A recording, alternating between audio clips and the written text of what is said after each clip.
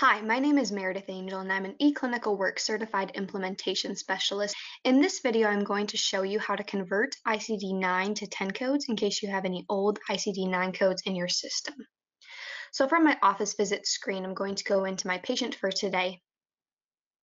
And the reason we want to convert these codes and not just leave them on our problem list is because we don't want them accidentally added to a progress note for the day and sent out to billing because those would not be covered by insurance. Over on my right chart panel for this patient, I know that I have ICD-9 codes as they're circled in red and 9. In this e-version of eClinicalWorks, in order to update those 9 codes, you can click into this ellipsis over on the right side to modify the list.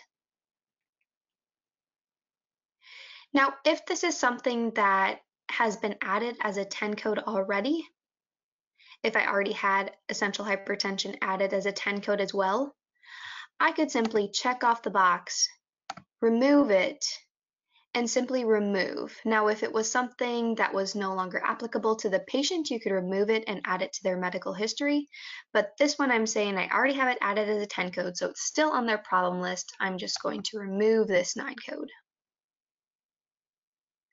If it's something that's not on the problem list as a 10 code already, and you want to convert it because it is still an issue for the patient, you can check off the 9 code, click ICD-10 migration, and it's going to open the converter with all of your 9 codes that need to be converted.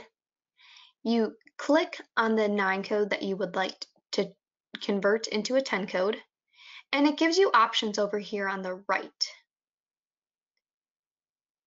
So I'm going to say it's this code, and now that code has been updated to E05.90 for the 10. And then I'm going to click my other ICD-9 code and convert that as well. Once I've converted all of my 9 codes on the left side, I can close the converter and my problem list is converted to all ICD-10 codes.